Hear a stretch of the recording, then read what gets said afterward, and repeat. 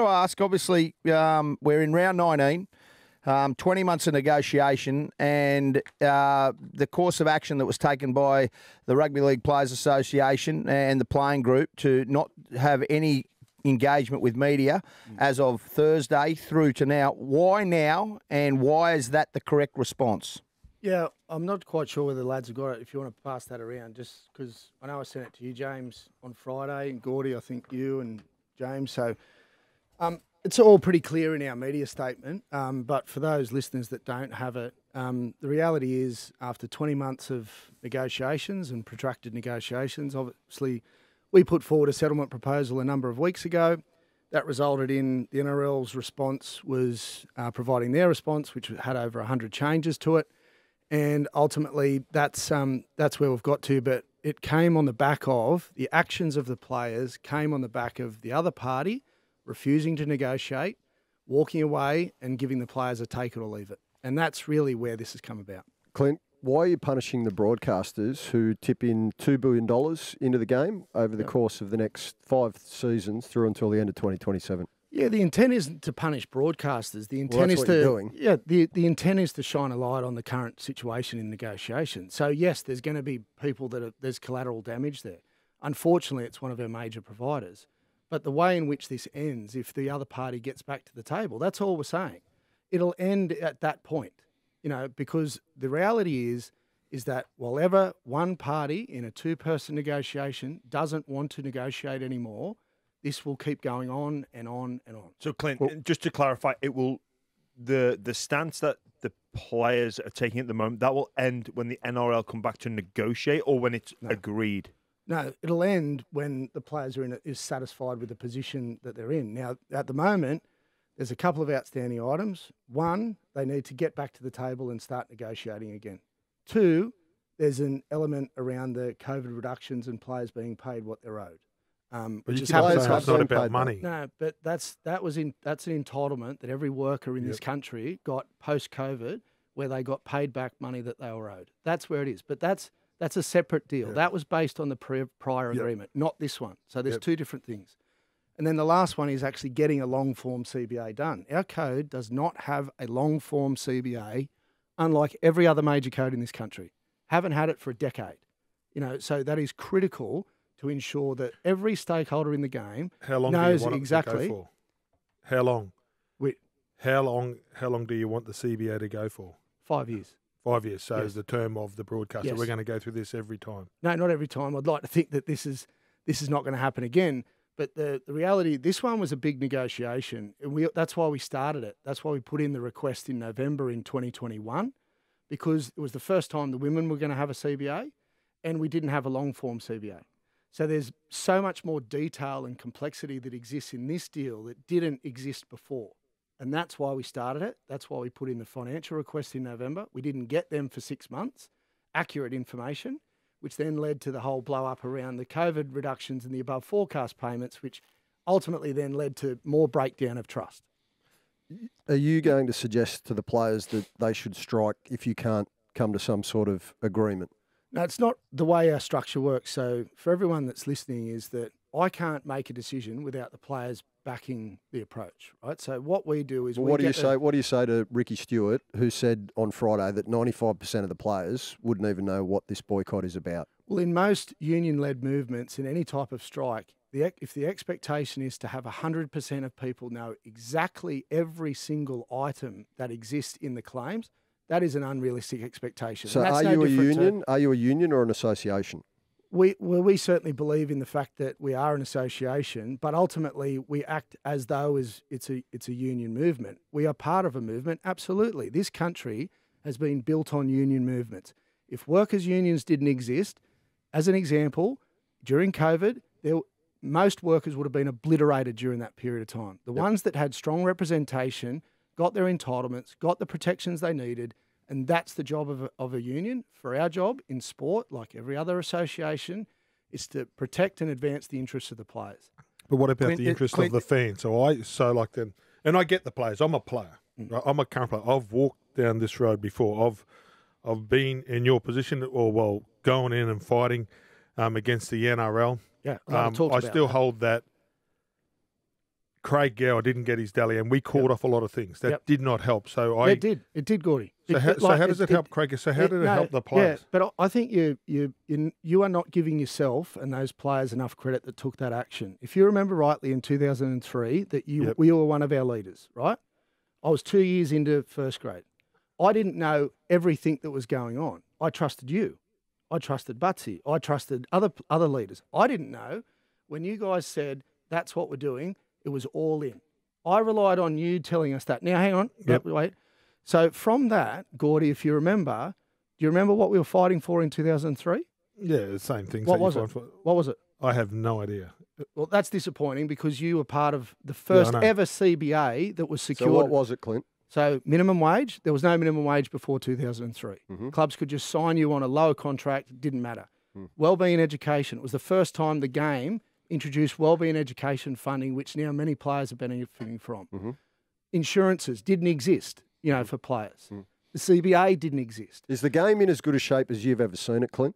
On the field, absolutely. Right. So Yeah. then why are you going to war with the players? What the about administration? financially, Clint? Yeah. Financially, financially, surely you can see that the game is it, it- it's the most money that's ever been brought in. Broadcasters have paid the most money at all. So, Yep. what if there's a hundred hundred little areas that you're not happy with? Mm. All this is this is great, but it's affecting everybody. So, how do you get to a result? How does this stop? And look, the players will strike. M- make no mistakes about it. They they will strike. Well, they won't you get guys paid. don't get then. what if you it want. comes to that, that means Yeah. they won't get paid. Dobbo. Well, well, that would mean well, that the I existing broadcast prepared to say that. arrangements Yeah, could also you- go up in That is smoke. a ridiculous Yeah, no, don't- statement. don't and the say that, players that have told you that. So who's told you No, that? no, no, no, no, no. I'm not saying. I'm saying, Clint. no, you so who's admit told that, you that? Just hang on, Gordy. Clint, will you admit that there will be more action take place if you guys don't get an agreement? Yeah, there will be more action. Of course, there will Well, what's the next step? Get back to the table. It's pretty simple. Like we're- this isn't rocket science. Hmm. These claims that we've So asked So how for. come it's taken you 20 years to get the deal? 20 so months. 20, get tw- 20 years. 20 months, sorry. It feels like 20 years. You're right. So For us so, so this is my brain, right? And I'm a real simple guy that played hmm. the game. How come you haven't been able to get the deal done?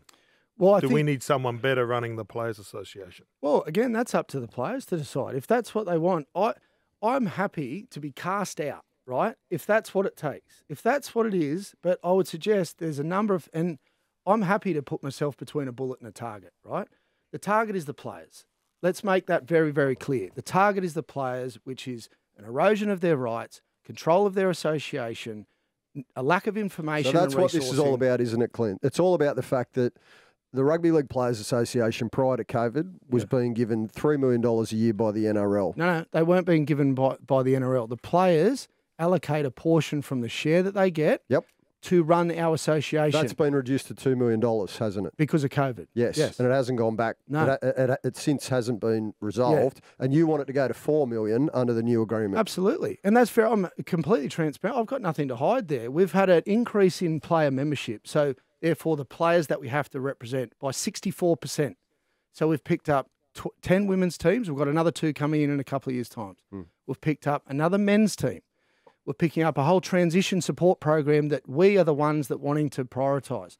So, yeah, you need more funds to be able to service the members. But, hang on, but for us to run our business, we need to have the independence to make decisions at the discretion of the players. We are not run by the NRL. We have our own board, we are governed by a constitution, and that's why it's important for the players to run their association how they choose. But back Do in you my really day, we had to pay it out of our own pocket. Yeah, and it's, it's a good question. So to give everyone a history lesson, in 2012, the, the RLPA was breaking down, right?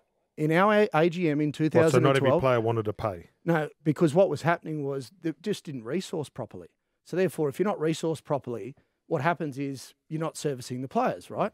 So in 2012, we all voted at our AGM that $100,000 from the salary cap that ultimately would go to players via their salaries would go to run the association. That was a huge decision that players made, which basically set the foundations that we've got now. That was 1.6 million. Then in the last CBA that we got, the NRL and wanted to restrict our ability to go into the commercial market to use player property to be able to obviously you know get generate sponsorship and revenues. Hmm. So they bought us out of that for 1.4 mil. So on an annual basis, we were operating on three mil to service 16 teams. You know, multiplied by 35, 36. Now we've got an additional 280, 300 people coming in, and the expectation is for us to service them on pre-COVID numbers. It's ridiculous. No, And but it's going to be they're going to reinstate it to what it was. Like the the difference between the three million and the two million that will be covered. Yeah, but we're servicing more people. So you need more money. Of so course you you need more do. money. Look, I'm all for players, Clint, um, having a seat at the table and a huge here. voice in the game. They Yep. are hugely important. There is no game without the players. Thank you. But do you really think that it's smart business to tell 510 contracted NRL players to go to war with Channel 9 and News Corp? Well, I think again, you're not addressing the issues here. Well, no, Like, we look are. at no, you're 'cause not that's what because, you've done. No, because That- if that's you, the- no, that's no, action. no, You've put no, your- that's you've the put your no, that's players in the this reaction. position. That's the reaction of the actions of the NRL. Let's just get back to the fact. It's your actions as well, mate. yeah, uh, like no, You're the one no who hasn't doubt. been able to get the deal done yeah, for 20 months. and both sides haven't got a deal done. Yep. And again, I'm happy to wear like take bullets, right? That's the job. I Mm. Knew exactly what we were getting in for. Bias reporting, demonising of players, personal attacks, that's all part of it. Mm. The union movement and, and representation and associations, it's all about struggle and resistance. It's all part of it. It is for for as long as we can remember that's what it's about. But if you get back to the outstanding items, Mm. someone will have to explain to me what is wrong with some of these items that we've got. Why is it so hard to understand that players should be afforded the same privacy laws that exist in every other workplace? Why is it so hard to understand with all of what's going on at the moment, with all the concussion, CTE, workloads, health and safety, that players don't have agreement rights over an introduction of more matches, which carries more risk? Again, these are just basic things. Mm. But if there's no more games, right, we can't expand. There's no Redcliffe, so there's 30 no, no, players no. without a job. No, no, expansion. You, you can They play expand the the same comp- amount of games as I did in 98, No, no, don't but they? expansion. Do they play 24 games? That's the same as when I was playing. Yeah. So I'm not. That's not in Yeah. dispute. Expansion can still happen without increasing the number of matches any one player plays in the season. And if we want to grow international game, if we want to do all that, you can't load in more regular season comps and have a great international game. The players can only play so much. And again, it would be irresponsible of the game to not reach agreement with players when it involves increasing their work obligations that carry risk. Do we all agree that football minutes carries football? risk? Of course. Yeah, Do- of course. Do we? I do broke it. my neck. You yeah. broke your neck. So Yeah. if anyone should I'd be do it all supporting the fact, yeah, and players players do, but ultimately, if you are going to ask, We wanted to play 30 games a year. So Yeah. then. Well, Junior so then, Paulo okay, played no, no, no, 36 just last hear me year. out. So just hear me Yeah. out here. So they play 24 games. Don't play finals, boys. Don't play finals. Don't play those extra four games and don't go on a tour. But that, Because that's that's extra games that's than a what the blokes that that's are a straw man argument. Like What- this What's is a straw man argument? Well, you're not addressing the issue. You're The basically issue are some players are going to play 24 and some game, some players might play 30. Then they go on a tour. They might play 30. absolutely. So therefore, why would we want to increase the number of matches when they're already playing that amount? It doesn't make any you- sense. The guys that play 30 don't care. They want to go play finals. Yes, they want to go do But it. But that's why we made changes, Gordy, to, to the cus- You don't concussion get extra for playing and all those types semi-finals. Let me tell you, you don't get extra for playing semi-finals. You only get paid for playing your 24 games. We do with prize money. So you do get paid more. oh, what? So the club keeps it, or do the players get it? No, it's shared. Is it? Yeah. But it's not about this. How do we isn't get to about a money. is solution? it? No, no. Clint. That's why Clint, we how haven't do we asked get for any to- more money since December last year. No, No, more because money. it's been agreed that the players are going to be paid one point three four seven billion dollars Great. over the course That's not of the in next dispute. five years. That's not in That's dispute. awesome. The annu- the average annual wage for an hmm. NRL player will be four hundred and one thousand dollars. Yep. Is that a not a lot good state of yeah, affairs? fantastic. But again, you're not addressing. You are conflating. Well, I'm putting it to you, Yeah, mate, because you, you again- you can go around in circles No, at times. I I'm putting it. I'm put. No, you're going well, but I- I'm putting it to you that I think a big part of this is about power and control, and also your ego. You and Andrew Abdo clearly extremely, I'll, I'll say, dislike each other. You could probably even go as far as say hate each other. No, and I think strong. that's and I think distrust, and I think strong. And I think that's a that's a big part of this beef. Yeah, totally. And Well, that's sad for the game. It is. It is sad, James, and that's the point. But if you act, you shouldn't be then saying just because a player's average salary is at that rate that fundamental rights just get removed. That that's that's you're not addressing the argument. Do you agree? Do you agree that the game should comply with privacy laws that exist in this every other Well, employment? what Do is you that? What explain do that, you mate? agree? Because What for they? people like Gordon and I, mate, with respect, Yeah. that's not, privacy laws aren't something that we go and do a lot of homework on every day. No, you don't. So what's and they're the on issue? their phone all the Yeah. time, and they. Oh, No, but that's I- What's fair- the no, beef? that's What's the different. privacy problem? So basically, if you're going to collect player property, or you know the way So in what, which you want player access to the GPS data and all that well, stuff. Well, no, yes, it's equal access to that. Of course it is because it's their property. But if you are going to store it and sell it, you need to be able to agree that with players. I've got to get into Zuckerberg and those guys that keep all my data when I get on all Yeah. buy buy stuff on online shopping when because there's my data. there's obligations there's obligations James for the game to be able to agree with players how they store it when they delete it how they capture it how they sell it you know that's all we're asking it's pretty basic there's mm. no groundbreaking stuff here unfortunately there's no groundbreaking stuff So does the NRL not 100% comply with all the privacy laws at the moment?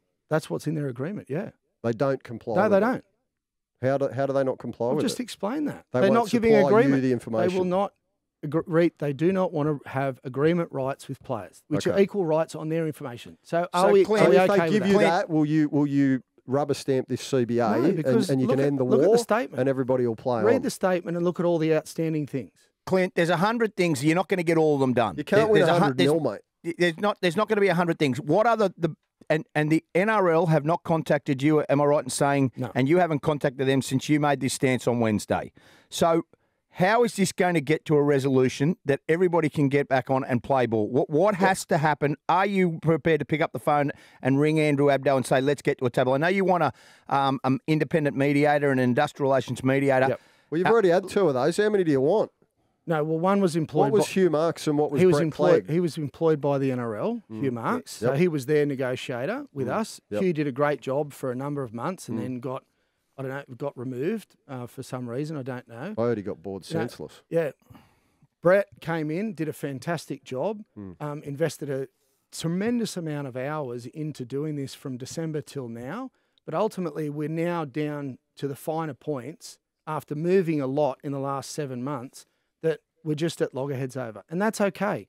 But ultimately, it's not going to get done while a party says, we're not coming back to the table. Can. I ask, what if there's a rogue player that really loves the game and likes the fans that just starts doing interviews? yeah, well, again, it's the player's choice. Like, so again- players can go out there and do an interview today. So if they want, and we walk up to a player walking off the field and go, "G'day, how you Well, going?" I would like to think that the people are going to respect the, the way in which players have unified to a point where they're saying All players. No, because you just said earlier that not every player is going to be on board, and you can't. no, get I didn't say not on board. I said not across all the detail. So when you made that stance in 2003, was I across all the detail? No, I wasn't. No, I Well, wasn't. Well, maybe all the players should be. So Yeah, they know what They're That's why you going ha- to be, Gordy. that's- That's, what Ricky that- Stuart's that's why point you- was that's last why you have Friday. a- that's Ninety-five percent of them don't even have a Yeah, clue what but- it's about. Yeah, I, I'd love to see where that stat came from. And that's it's interesting, right? That there's people in the media, um, you know, like Ricky, that are talking about these types of things that were also part of a, a massive war. Mm. Like, and, and again. And, and And how we long all did have it take the game to recover from that? what happens. Again, do we we want to go back to no, that we again, don't. do we? No, we Right. don't. But that's Okay. why Well, the only way in which we can do that why, is 'cause if we're get talking back to from the table. experience. Exactly. But I'm talking from experience. Sitting out a year going through these wars, it didn't help us. The game's got back to where It did help it us, finally Gordon. got back to where it is. Gordon, you are underestimating your impact. I just said that stance that you took in 2003 gave our game the first ever CBA minimum wages, well-being education, insurances that didn't exist. and we didn't win 100 nil then. Clint, We got I three thi- across. Clint, I appreciate you coming in. I think we all do. Um, and you answered the questions. We, we obviously want to see a result. I So think do I. everybody, Absolutely. everybody. So, So hang on, here's Dobbo, hoping- just before we let Clint go, how do we get a result then? You want an independent industrial relations expert Yep. to be parachuted in. Will that fix the problems? it should do, yes. How quickly? We want it done like tomorrow.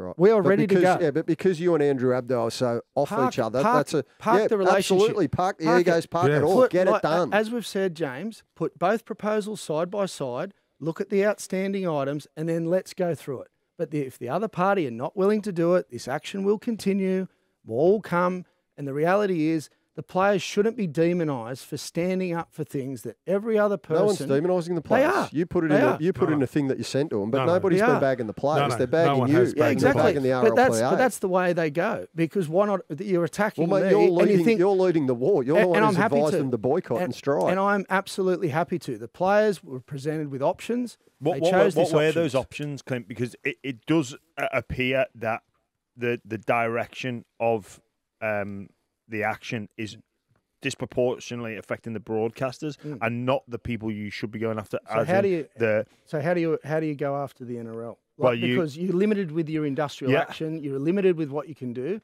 Not speak to ultimately- NRL.com, so like exclude them, Yeah, cover the They've done ba- that cover the before. We've done that, and that didn't work. So we made progress during that period when players were threatening to stand down from trials, which ultimately they wound back hmm. because players don't want to hurt the game. We are forced into a position where when party says, take it or leave it, well, thank you, but it's a leave it for now. So let's get back to the table. Let's work through it. The players, I think, the way in which I'm, I'm happy to cop criticism. I'm happy to be targeted. I know what I was getting in for. Hmm. But I tell you what, my conviction to get the best outcome for players is unwavering. Can if- you guarantee players won't strike? What about the best outcome uh, for the game? Yeah, well, that involves giving players a deal that we can all be proud of. Can you guarantee players won't strike? I'm not. I can't guarantee anything, but what I hmm. can guarantee That is would be a very sad state. absolutely affairs. would. So how do we fix that? We get back to the table. So hmm. why don't you? But you realise they don't get paid if they if they strike. yeah, but wouldn't it be a sad indictment of the game if it actually got to that? Like the fact that we we if will. sad someone that on it's got to four this hundred point. thousand It's dollars sad that it's playing got the to this greatest So game of therefore, all how do walks we- away from how- no, hold on four hundred thousand dollars average, Mm. four hundred thousand dollars, and they walk away from the greatest game of all. Yeah, but that's They walk away. Gordon, the only way this will get solved if it's Wow. people come back to the table. You are hanging on something that is a maybe, a what if. Ultimately, again, Do you know if You- you, don't you like your shouldn't there. workplace, you can change. You know. yeah, I think that's a simplistic way of looking at it. Well, that's that's We're going to life. finish That's- up, Clint. We appreciate you coming on.